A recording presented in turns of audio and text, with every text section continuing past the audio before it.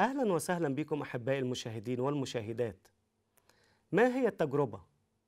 وما هي أنواع التجارب؟ وهل اختبر السيد المسيح التجارب مثلنا؟ وكيف انتصر عليها؟ وكيف يمكننا نحن أيضا أن ننتصر على هذه التجارب؟ هذا هو موضوع حلقتنا اليوم فابقوا معنا.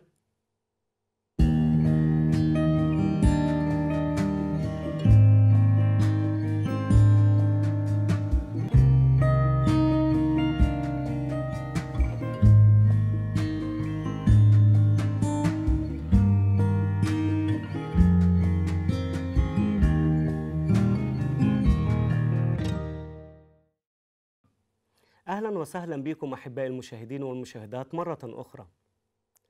نقرأ في إنجيل متى إصحاح أربعة من عدد واحد إلى عدد 11 عن تجارب السيد المسيح. ثم أصعد يسوع إلى البرية من الروح ليجرب من إبليس. فبعدما صام أربعين نهارا وأربعين ليلة جاع أخيرا. فتقدم إليه المجرب وقال له: إن كنت ابن الله فقل أن تصير هذه الحجارة خبزا. فأجاب وقال مكتوب ليس بالخبز وحده يحيا الإنسان بل بكل كلمة تخرج من فم الله. ثم أخذه إبليس إلى المدينة المقدسة وأوقفه على جناح الهيكل وقال له إن كنت ابن الله فاطرح نفسك إلى أسفل لأنه مكتوب أنه يوصي ملائكته بك. فعلى أيديهم يحملونك لكي لا تصدم بحجر رجلك. قال له يسوع مكتوب أيضا لا تجرب الرب إلهك. ثم أخذه أيضا إبليس إلى جبل عال جدا وأراه جميع ممالك العالم ومجدها. وقال له أعطيك هذه جميعها إن خررت وسجدت لي. حينئذ قال له يسوع اذهب يا شيطان. لأنه مكتوب للرب إلهك تسجد وإياه وحده تعبد. ثم تركه إبليس وإذا ملائكة قد جاءت فصارت تخدمه. الجزء المبارك اللي سمعناه الآن يا أحبائي هو عن تجارب السيد المسيح. ولما نيجي عند كلمة تجربة معنى إيه كلمة تجربة؟ التجربة ليها معنيين. المعنى الأولاني هي تجربة للوقوع في الخطأ أو الخطية. فالتجربة تحمل المعنى الأول إن في تجربة أو في شيء معين بيحس الإنسان إنه يعمل خطية. والتجربة بالمعنى الآخر هو المصائب والألمات التي تأتي على الإنسان. إذا التجربة لها معنيين يا إما الوقوع في الخطية يا إما المصائب والألمات التي تيجي على الإنسان عموما. تعالوا نشوف النوع الأولاني اللي هو الوقوع في الخطية. التجربة. التجربة اللي بتيجي للإنسان عشان يعمل الخطية. مين مصدرها؟ لازم نعرف إن مصدرها الوحيد هو إبليس. دي القوة اللي بتحرك كل فعل شر للإنسان. ده اللي بيجي دايما ويتكلم. ويدي النصايح السيئة ويحاول إن هو يغري الإنسان لفعل الخطية ويزين الخطية في عينيه. حصلت مع مين؟ حصلت أول مرة مع حواء. لما الشيطان دخل جوه الحية واستخدم الحية عشان يكلم حواء وابتدى يجربها ويقول لها هو حقا قال لكم الله لا تأكل من كل شجر الجنة. وابتدت حواء تتكلم. قالت له لا ناكل من الشجر ده كل الشجر ما عدا معرفة الخير والشر. لا إلا نموت. قال لها مش هتموتي مش هتموتي. تعرفي ربنا مش عايزكم تاكلوا ليه؟ لأنه أنتوا لو كلتوا هتكونوا مثل الله عارفين الخير والشر. فابتدى يشككها في محبة الله ليهم ابتدى يشككها في صلاح الله ابتدى يشككها إن الله صادق معاهم. الله بيقول لو كلتوا من الشجره هتموتوا بس الشيطان جه لحواء وقال لها إيه؟ ما تخافيش مش دي الحقيقة. لن تموتا أنت لا أنت ولا آدم هيجرى لك حاجة. مين اللي أغوى حواء؟ الشيطان.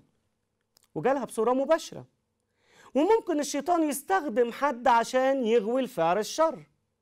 مش دايما إحنا بنكون زي حواء والشيطان يجي لنا كده في صورة حية؟ ممكن الشيطان يستخدم ناس قريبين لينا. ممكن الشيطان يستخدم ناس آه، أشرار أيضا. إزاي؟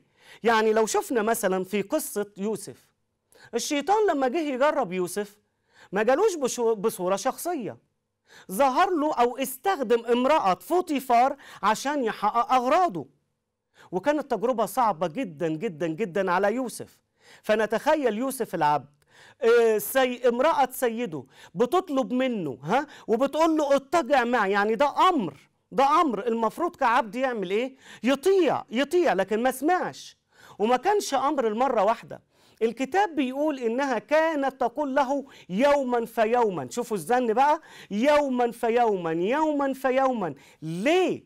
ليه كده؟ ليه كده؟ لأن الشيطان هو اللي وضع في أفكارها ده كويس، ده شكله حلو، اعملي الشر معاه فيوما فيوما، وكان يوسف في السن ده يا جماعة في عنفوان الشباب، في قوة الشباب، حوالي 25 أو 27 سنة أو أقل من كده بشوية أو على الأقل نعرف إن هو كان 17 سنة وقت ما اتباع ل- للإسماعيليين. فكان في عنفوان شبابه وقوة جسمه. ولكن بالرغم كده يقاوم التجربة ويقول فكيف أصنع هذا الشر العظيم وأخطئ إلى الله؟ طيب مين اللي خلى امرأة فوطيفار تعمل التجربة دي؟ من نزواتها الشخصية بتحريض من إبليس. وممكن الشيطان يظهر بصور مختلفة. مش بس يستخدم الأشخاص الأشرار. لا ده ممكن يظهر بصور كتيرة جدا. زي ما قلنا ظهر مع حواء على شكل حية. وكانت الحية جميلة وكانت أحيا لجميع المخلوقات. فممكن يظهر بشكل حلو جميل كده وعلى حاجة كده محبوبة للناس. وممكن أيضا يظهر في شكل قديس. وده اللي حصل في صموئيل الأولى 28 لما شاول راح لعرافة واحدة بتاعت جان وتوابع طلعت له شخص ظهر 100% إنه هو صموئيل مع إنه في الحقيقة ما كانش صموئيل. كان شيطان ظهر وابتدى يدي رسالة تحبيط ورسالة يأس إلى شاول والنتيجة كان انتحار. فممكن يظهر على شكل قديس. وممكن يظهر مباشرة بشكله بهيئته زي ما ظهر للرب يسوع على جبل التجربة. ممكن يظهر زي ما هو. عادي جدا جدا جدا لأنه مش هيقدر يخضع السيد المسيح.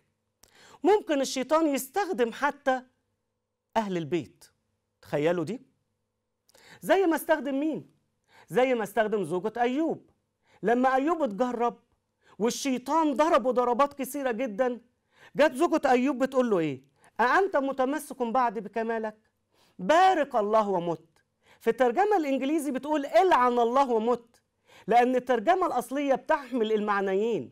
فهي فيها نقمة فيها نقمة على الله. ليه أنت عايش بالشكل ده؟ ليه أنت عايش؟ وعايش لمين؟ يلا إلعن إلهك اللي أنت متكل عليه. أنت لسه متمسك بكمالك. بارك الله أو إلعنه وروح موت. خلاص أنت ملكش أزمة. يعني التجربة ممكن تيجي من الزوجة ممكن تيجي من الأب ممكن تيجي من الأم ممكن تيجي من الأخ من الأخت أو حتى من الصديق يا جماعة. وده اللي حصل بالظبط مع مين؟ ده اللي حصل مع السيد المسيح لما قال للتلاميذ إنه هيصلب. جه بطرس على جنب وابتدى ينتهره كان رد السيد المسيح عليه إيه؟ اذهب عني يا شيطان. برغم ان بطرس نفسه ما كانش شيطان لكن الشيطان استخدم بطرس عشان يفشل السيد المسيح عن الصليب. الشيطان كمان ممكن يظهر في شبه ملاك نور. تخيلوا دي؟ يعني ممكن يظهر في شبه ملاك يجي كأنه ملاك مضيء قوي جبار ده اللي قاله الرسول بولس في كورنثوس الثانية 12 11 وعدد 14 دي التجربة بمعنى الإغواء على الخطية أو الشر النوع الثاني من التجارب يا أحباء هي إصابة الإنسان بالألم. والتجارب والمشاكل زي إيه؟ تعالوا نشوف إيه مصدر الألمات اللي بتيجي للإنسان؟ المصدر الأولاني بالتأكيد هو إبليس. نجد مثلا في قصة أيوب لما أيوب كان راجل كامل بار مستقيم يتقي الله يحيد عن الشر إيه اللي حصل؟ الشيطان ابتدى يشتكي عليه الشيطان ابتدى يتكلم عليه. فربنا قال له خلاص أهو بين إيديك بس حافظ على نفسه. عمل إيه؟ نهب. نزل نار من السماء. جاب له حرب وسلب أمواله. موت أولاده وجاب له الأمراض. حتى أصدقائه اللي جايين عشان يقفوا جنبه ويساندوه قالوا كلام متعب لدرجة إن هو قال لهم أصدقاء أو معزون متعبون. مش نافعة الحكاية. كل الضغوط دي مين اللي جابها على أيوب؟ مين اللي جابها عليه؟ ما هو إلا الشيطان. ليه؟ ليه؟ لأن ببساطة كل اللي عايزه إبليس إن أيوب يجدف على الله يهرب من الله. ما يكونش فيه علاقة تانية بالله. إذا المصدر الأولاني للتجارب هو إبليس. وممكن إبليس أيضا يستخدم غير المؤمنين لكي يؤذوا المؤمنين. زي مثلا إخوة يوسف. عملوا إيه مع يوسف؟ حقدوا عليه غيرة حسد تخطيط للقتل وبعد كده رموه في البير وبعد كده باعوه كعبد. كل الألمات دي كلها الشيطان استخدم القلب أو النفس الضعيفة لإخوة يوسف عشان يعمل مشاكل ليوسف. حتى الاضطهادات اللي جات على الكنيسة من اليهود كانت بسبب إيه؟ كانت بسبب إن الشيطان كان بيحركهم ضد الكنيسة ضد الرسل ضد البشارة. ياما جلدوهم. ياما سبوهم وشتموهم ياما حبسوهم وقتلوا منهم الكثيرين. مين اللي حرض دول؟ اللي حرض دول ما هو إلا الشيطان. ممكن الألم أيضا يا أحبائي يجي نتيجة إهمال الشخص نفسه. يعني ممكن الإنسان يجيب الألم لنفسه؟ آه ممكن طبعا. وهنا بنلاقي إن ده بيحصل كتير. الإهمال دي الإهمال ده خطية بشعة جدا جدا. الإنسان ممكن إن هو يحصد منها نتائج خطيرة. فمثلا بطرس بطرس كان متهور جدا في بستان جثيماني ومسك سيف عشان يدافع عن السيد المسيح وقطع ودن عبد رئيس الكهنة ملخس كانت النتيجة إيه؟ كانت النتيجة أنه كان ممكن يفقد حياته كان ممكن يموت لو سيد المسيح لم يشفي ودن ملخس وأيضا أعطى شهادة سيئة عن السيد المسيح. أنتوا بتستخدموا السيف أنتوا في عنف أنتوا في إراقة دماء. وما كانش ده هو المقصود من رسالة السيد المسيح اللي هي رسالة المحبة أساسا. وممكن يجي الألم أيضا يا أحباء كعقاب من الله للخاطي أو للمؤمن عشان يرجع. فممكن الله يعاقب الشرير على شره زي ما عاقب الأموريين مثلا زي ما عاقب أهل سدوم وعمور زي ما عاقب المصريين والضربات العشر زي ما عاقب المؤمنين بني إسرائيل لما كانوا بيبعدوا ويضلوا كان الرب بيأدبهم بتأديبات البشر زي ما عاقب حنانيا وسفيرة لما كذبوا على الروح القدس. فالرب كان ممكن يعاقب ها الأشرار على خطيتهم أو يأدب المؤمن على خطيته عشان يرجع إليه مرة أخرى. فهنا المعنيين موجودين. معنى التجربة بمعنى الإغواء على فعل الشر والتجربة بمعنى إصابة الإنسان أو الناس بالمصائب والكوارث اللي إحنا بنشوفها. كيف تعامل السيد المسيح مع هذه التجارب؟ كيف تعامل مع إغواء الشيطان؟ كيف تعامل مع الألمات التي سببها الشيطان؟ هذا هو ما سوف نكمل حديثنا عنه بعد الفاصل. فابقوا معنا.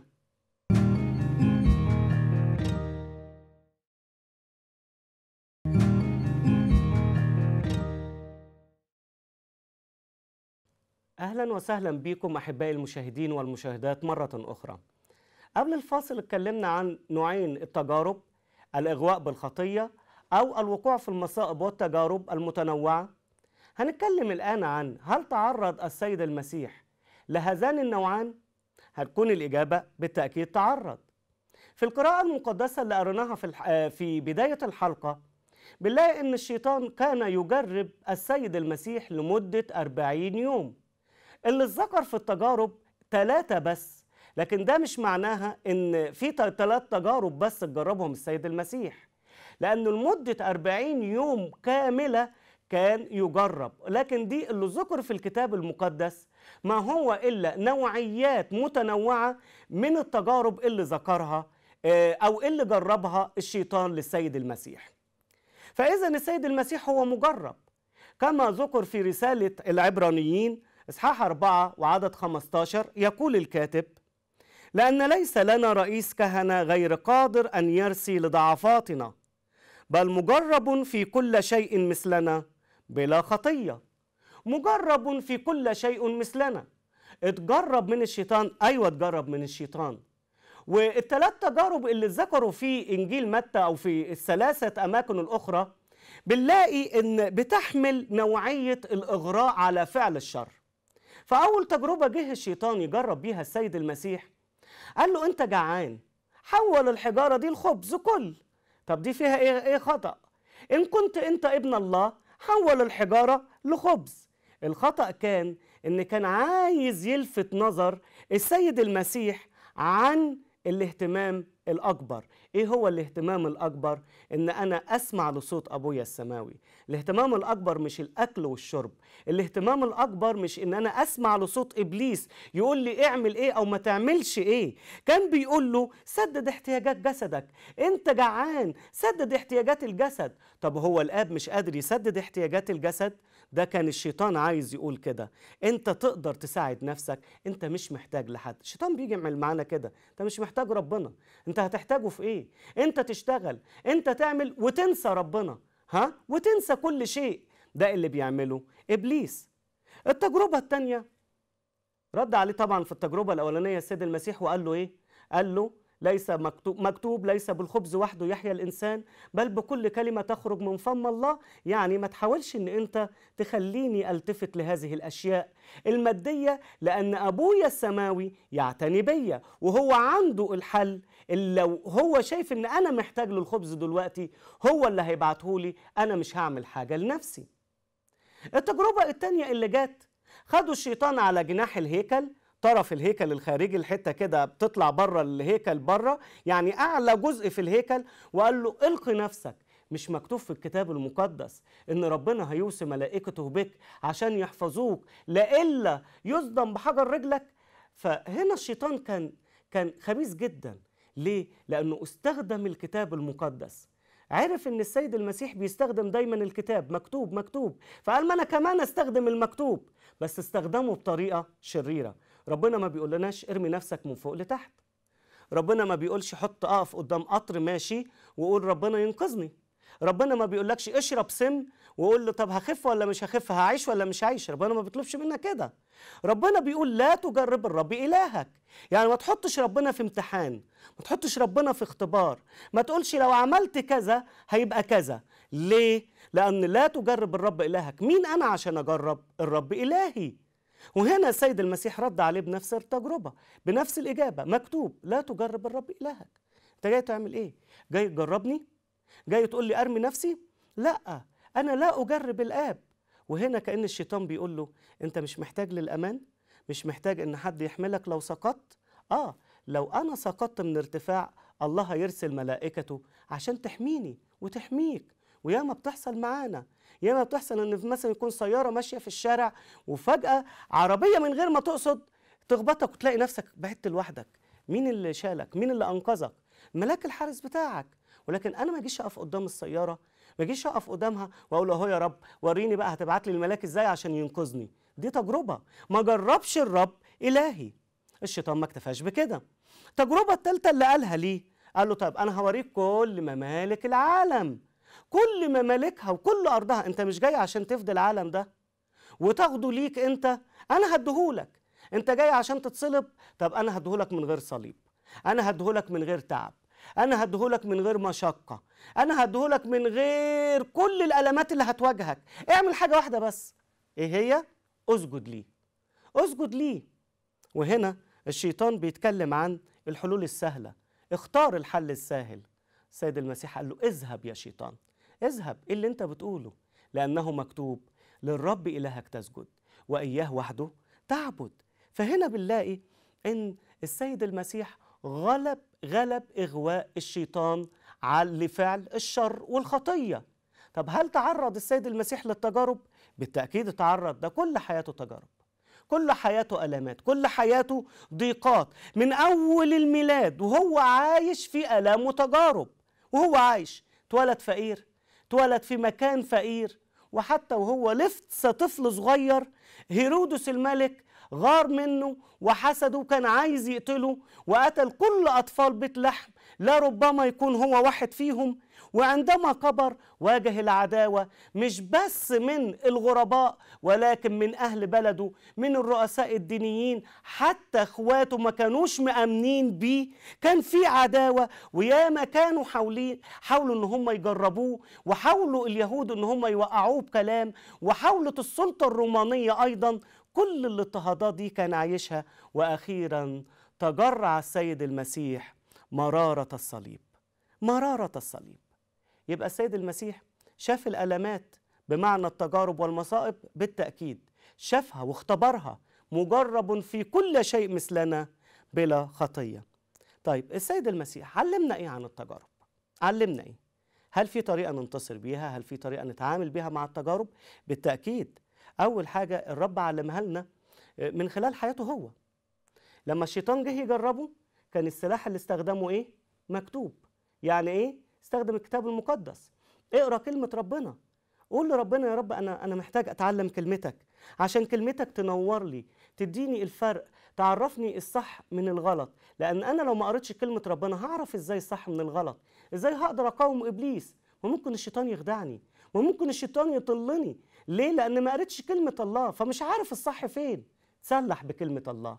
تسلح بالكتاب. اقرأ كلمة الله كل يوم. اقرأ كلمة الله كل يوم. الحاجة الثانية طلب منا السيد المسيح في الصلاة الربانية في إنجيل متى 6 13 إن إحنا نصلي ونقول لا تدخلنا في تجربة. يا رب ابعد عنا التجارب. يا رب ابعد عنا التجارب بأنواعها سواء كانت إغراء على فعل الخطية أو الوقوع في المشاكل والألمات والمصائب. يا رب ابعد عنا كل تجارب. صلي لأجل كده. صلي لأجل إن التجربة ما تجيش في حياتك. قول لرب يا رب أنا محتاج إن أنت تنقذني وتحميني من التجارب اللي بتيجي سواء كانت من الشيطان أو من أعوان الشيطان. كمان السيد المسيح قال إن إحنا محتاجين نصلي.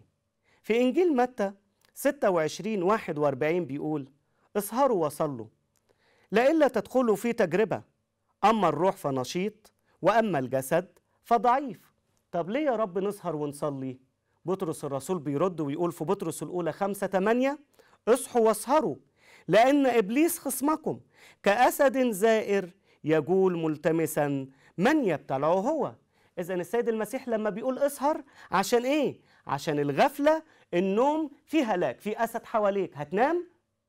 في عقارب حواليك هتنام؟ مش ممكن في حرامي في لص جاي على بيتك هتنام؟ مش ممكن عشان تنقذ من التجربة اسهر السهر الروحي وصلي واطلب معونة ربنا. وافتكروا يا أحباء إن السيد المسيح في السماء الآن بيعمل لينا عمل عظيم جدا جدا جدا. العمل العظيم ده هو إيه؟ تعالوا نقراه في لوقا 22 32 ولكني بيكلم بولس آه بيكلم عفوا بطرس ولكني طلبت من أجلك لكي لا يفنى إيمانك وأنت متى رجعت ثبت إخوتك. ولكني طلبت من أجلك. يعني إيه طلبت من أجلك؟ أنا بصلي لأجلك يا بطرس. أنا بصلي لأن الشيطان طلب إن هو يغربلك زي ما بنغربل القمح الحنطة زي ما بنغربل الحبوب. الشيطان كمان هيحطك في التجربة هيجيب لك إغراءات. لكن أنا بطلب من أجلك وده اللي بيعمله الرب من أجلنا. دايما نقول له يا رب ساعدني أنا متكل عليك أنت وحدك. بقوتي أنا ما أقدرش ابدا إن أنا أهزم التجربة. احبائي في ملاحظات على التجربة لازم نعرفها. ملاحظات سريعة. لازم نعرف إن الشيطان يجرب ولكنه لا يجبر أحد على الخضوع للتجربة. فمفيش واحد يقول منه لله الشيطان الشيطان بس بيتكلم بيدي أفكار. لكن مين اللي بينفذ؟ مين اللي بيقرر؟ أنت. أنت اللي بتنفذ أنت اللي بتقرر.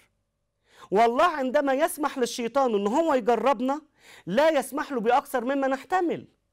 فما فيش إنسان يقدر يقول التجربة أقوى مني. أصلها دي كانت مجرب تجربة اوفر شوية. لا لا لا دي كانت زيادة. لا الله بيقول على قدر احتمالك التجربة هتجيلك ومش كده وبس. ده كمان الله بيدينا القوة والعون عندما نجرب. يعطي مع التجربة المنفذ الحل. ليه؟ لكي نستطيع أن نحتمل.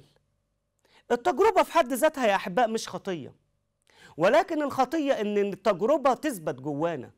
زي ما قال أحد القديسين إننا لا نقدر أن نمنع العصافير أو طيور السماء منها تحلق فوق رؤوسنا ولكننا نستطيع أن نمنعها أن تبني اعشاشا.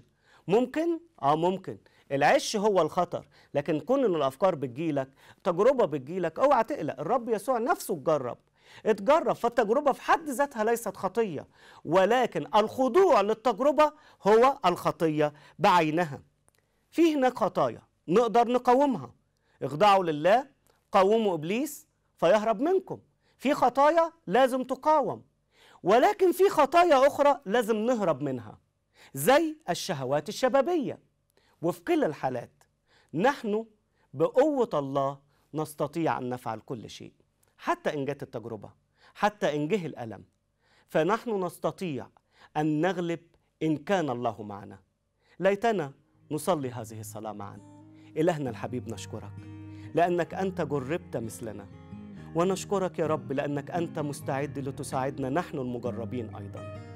فأعنا دائما يا ربي لكي نكون ثابتين غير متزعزعين نكون واثقين أنك أنت لنا معين. نعلم أنه ليس فينا قوة ولكن نسلم حياتنا إليك وحدك لأننا نأخذ قوتنا منك. أرجوك يا رب بارك هذه الكلمة واستجيب صلاتنا. في اسم من فدانا وخلصنا سيدنا يسوع المسيح ولك منا كل الإكرام والمجد. آمين. سعدت أحبائي بوجودي معكم. على أمل اللقاء مرة أخرى. سلام الرب معكم وإلى اللقاء.